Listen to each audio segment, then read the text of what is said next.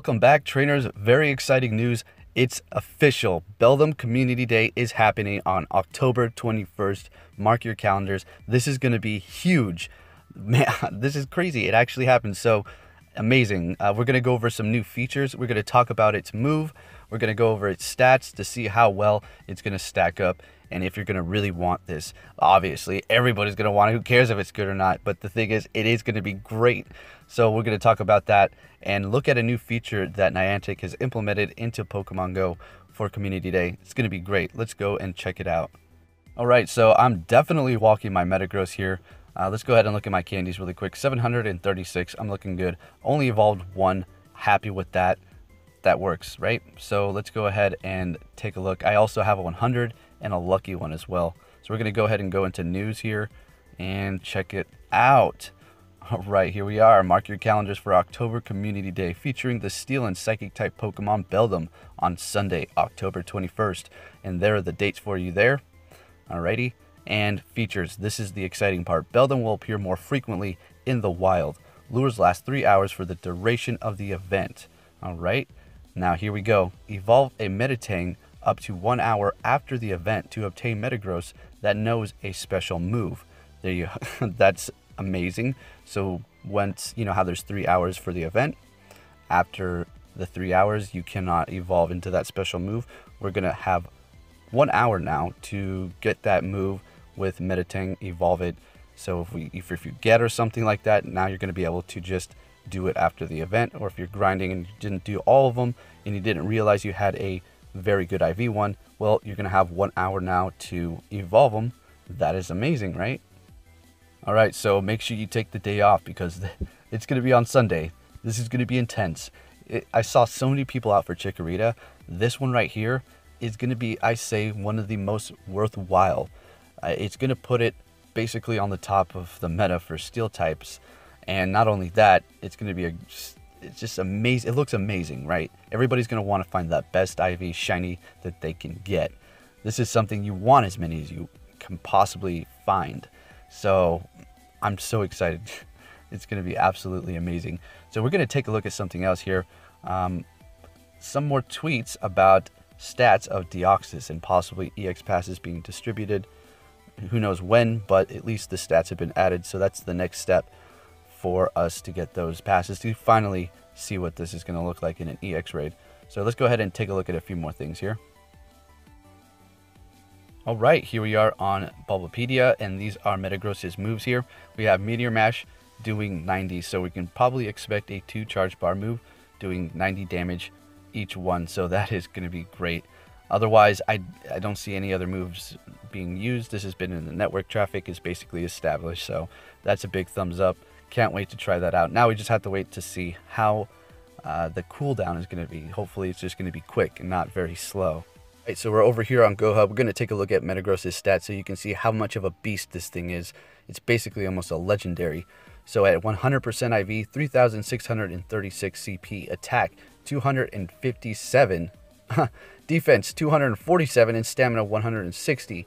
So uh, yeah, with its current moves, let's go ahead and take a look. It's okay as a psychic offense attacker. It will basically a gym defender with that move set actually. So if a team of Machamps is running through and they come across your Metagross, they're gonna have some trouble with your psychic moves. Bullet Punch, Flash Cannon, it has those just one charge bar moves, and that's another indicator to look for on Pokemon that you might think might get a community day, but you already know they are. So say um, uh, Salamence, for instance, it has those just one charge bar moves.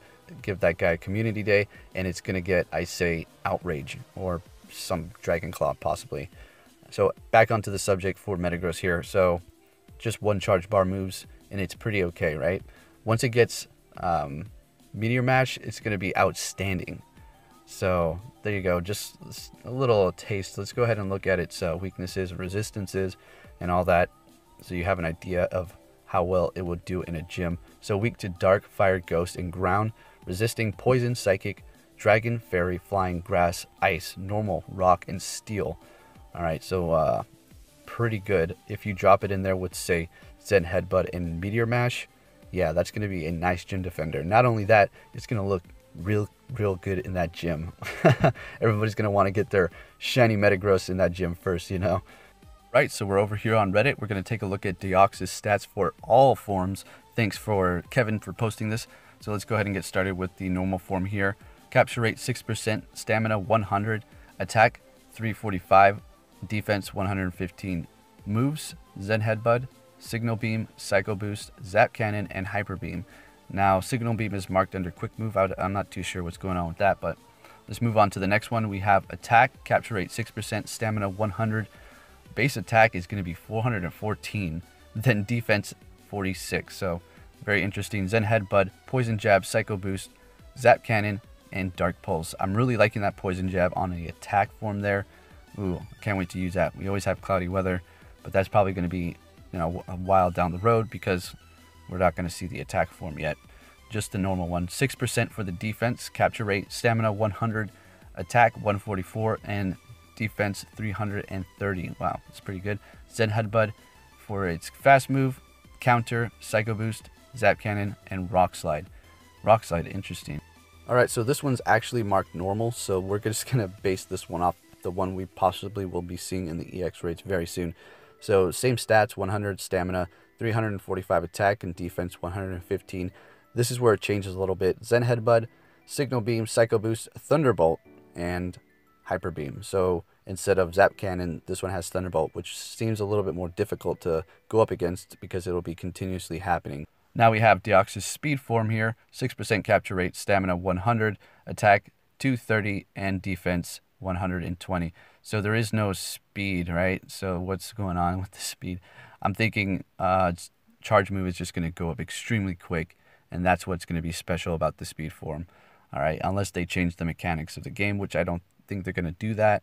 They'll just implement the first option. Zen Headbutt, Charge Beam, Psycho Boost, Zap Cannon, and Swift. So there you go. Thank you, Kevin, very much for posting these. Much appreciated. Okay, trainers, with that said, let's go ahead and take a look at my Beldums really quick, and then we're going to go over making teams to duo Deoxys. That's right. It can be done. I'm pretty sure it's it should be able to be done. All right, so let's go ahead and take a look at what we have here. Go by number and scroll the way down. There we are. Because I'm looking great. So I thought I transferred my 100. I was getting so nervous. Uh, but there it is. Wow, I'm really hoarding these. I had quite a few of them, as you can see here. Brought my candies up to a good amount there, 736. Stardust is going up quite nicely as well. And I got the lucky one, so I'm looking fantastic. Now let's go over making teams to duo Deoxys. Now I say, can you go in there with Tyranitar's six teams or six of them and just crunch and bite your way through it? I it might be able to be done. I'm not talking about weather boosted, like non-weather boost. Uh, I'm not too sure, but this is uh, the safest bet here. What you know what you're gonna want. It's gonna be all Gengars with Shadow Claw. And if you're wondering, well, I have Hex. Is that gonna make that much difference? Yeah, it really is. I mean, it's not gonna make it horrible, but to make the duo happen, it, you might need Shadow Claw. Give it a shot. I don't know what the numbers are quite yet. This is just me taking a guess. So, a team like this, or you know, maybe if you only have three, throw in some Tyranitars. But I highly recommend you're going to probably want to do Mewtwo. So these are all Shadow Ball here. So we'll just say like this and like that, right? So that's a duo team. Gengars or Mewtwo's. Tyranitar's, possibly. Um, you might be able to even use like six unique Pokemon each because this Deoxys just might be that simple to duo uh, but only time will tell. Should be fun. I can't wait, especially with the invite feature. If you don't know that by now, uh, what that is, is when you receive an EX pass, you can now invite trainers uh, that are great friends or best friends. Uh, sorry, ultra or best friends, and then you can invite them to that EX raid with you. Now, if they get an invite to another EX raid, I'm not too sure if you can still invite them to yours. So keep that in mind.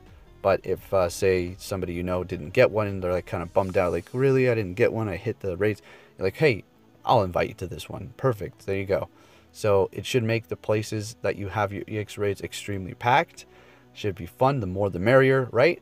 Now let's go over a team This says Hitmonchan. Don't just disregard that, all right? We'll just put a, a dot there. All right, so duo. All right, we got that out of the way.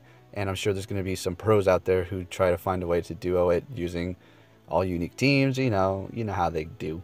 All right, so let's go over this. Um, say you don't have those and you just want to pick a normal team. The counters are going to basically be like Mewtwo, guys. Yeah, that's about it. There's not too much to talk about. So just uh, Tyranitar.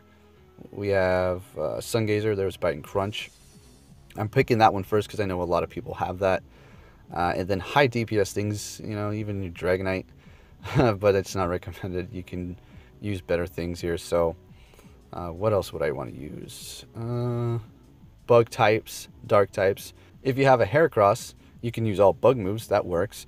Uh, it's not going to be your highest DPS option. Uh, Scizor with uh, all bug moves as well. That works. Uh, Shadow Ball Mewtwo, that would work is amazing because Deoxys doesn't have a counter to Psychics this time around. Well, it does on one of the forms, but not for the one we're going to see first. So, unless they change it up right before they release it. Uh, so, yeah, your counters are just going to be like Mewtwo. We can just search Dark here and just pick uh, uh, Houndour. And you can even pick a muck, you know, Bite and Crunch.